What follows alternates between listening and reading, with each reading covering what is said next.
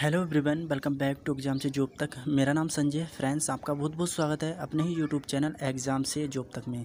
तो गाइज़ आज की वीडियो में हम बात करने वाले हैं यूपी बोर्ड रिज़ल्ट को लेकर। गाइज़ जैसा कि आप सभी को पता ही है यूपी बोर्ड ने जो रिज़ल्ट है, वो टेन प्लस टू का रिज़ल्ट जो है डिक्लेयर कर दिया है। गाइज़ अगर आपने अभी तक अपना रिज़ल्ट चेक नहीं किया है तो स्टेप बाय स्टेप फॉलो करते चलिएगा। तो गाइज़ आज की वीडियो में मैं आपको बताने वाला हूँ, अगर आपके पास रोल नंबर भी नहीं है तो आप विदाउट रोल नंबर भी अपना रिज़ल्ट चेक कर सकते हैं अपने ही नाम से।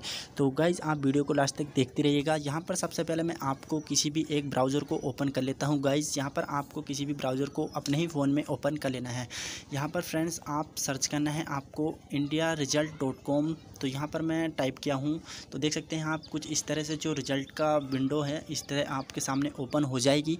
ओपन होने के बाद गाइज़ यहाँ पर आपको देखने को मिल जाएगा इंडिया रिज़ल्ट डॉट कॉम तो यहाँ पर आपको फ़र्स्ट में क्लिक कर देना है गाइज़ तो जैसे ही गाइज़ यहाँ पर हम क्लिक कर देते हैं, हमारे सामने फ्रेंड्स यहाँ पर जो हमारे स्टेट वगैरह हैं, वो सारे ओपन हो जाते हैं। फ्रेंड्स यहाँ पर मैं एक बात बताऊँ आपको, इसमें जो है आप अपने नाम से जो रिज़ल्ट है वो चेक कर पाओगे, क्योंकि यहाँ पर ही ऑप्शन आपको नाम से रिज़ल्ट चेक करने का मिल जाता है। तो यहाँ पर आप देख सकते हैं, आप किस बोर्ड के लिए अपना रिज़ल्ट चेक कर रहे हैं, वो यहाँ पर आप चूज़ कर सकते हैं। तो गाइज़ ये जो रिज़ल्ट है, आप यूपी बोर्ड से ही चेक करे होंगे, या उत्तराखंड से, अभी फ़िलहाल उत्तराखंड का भी आया तो हम मैं यूपी बोर्ड का बता रहा हूँ इसमें।